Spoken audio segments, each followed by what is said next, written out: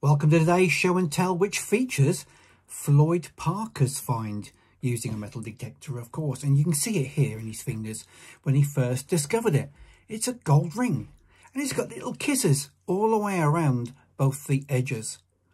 And you can see how freshly dug this was and he was so excited to find this one. Now I've found six gold rings since I've been detecting in the last seven years, but I've never found a gold coin.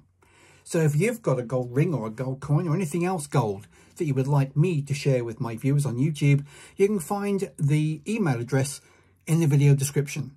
Send it to me and I'll see if I can share it for you.